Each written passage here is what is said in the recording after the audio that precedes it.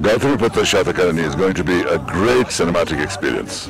It certainly has been for me, working with the great Balakrishna, legendary son or legendary father, and it is his 100th film. And I really congratulate producer Rajiv Reddy and the other producers for putting together such a fantastic team, uh, headed by National Award-winning director Krish. I am a student of history.